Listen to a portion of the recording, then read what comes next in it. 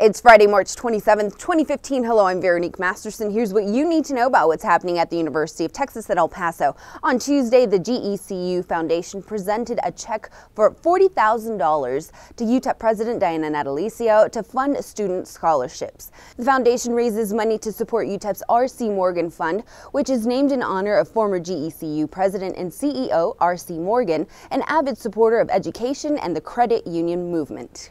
A team of UTEP engineers is one of five finalists in an international competition known as the DESAL Prize.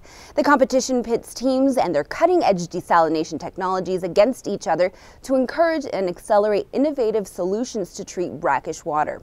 The public is invited to view the technologies and meet the teams at 2 p.m. Saturday, April 11th at the Brackish Groundwater National Desalination Research Facility in Alamogordo, New Mexico. Visit cids.utep.edu for more information. UTEP professor Dr. Jeremy Slack has published an article about how migrants deported back across the border become more vulnerable to kidnapping and violence. His study included more than 1,100 hour-long interviews with people staying at migrant shelters at ports of entry immediately after deportation.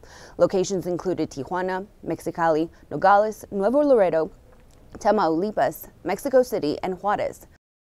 We found that migrant kidnapping was different than people had previously thought. First of all, the conception is that kidnapping is just about ransom. And we found that that wasn't necessarily the case, as a lot of people aren't asked for ransom, and a lot of people don't pay ransom. A lot of people seem to escape.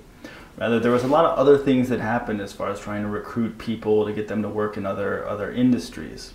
Slack's goal is to produce high-impact research on the effects of drug violence on migration along the U.S.-Mexico border. The study was recently published in the Royal Geographical Society's journal, Area. Last week, UTEP students, alumni, faculty, staff, and friends celebrated the longest running campus tradition. TCM Day began in 1920 when UTEP was known as the Texas College of Mines and Metallurgy. It was an annual rite of passage to initiate new engineers and geologists into the Order of St. Patrick, the patron saint of engineers. The celebration is now open to the entire UTEP community and includes activities like the painting of the M on the mountain, the Team Mining Challenge, and the kissing of the Blarney Stone.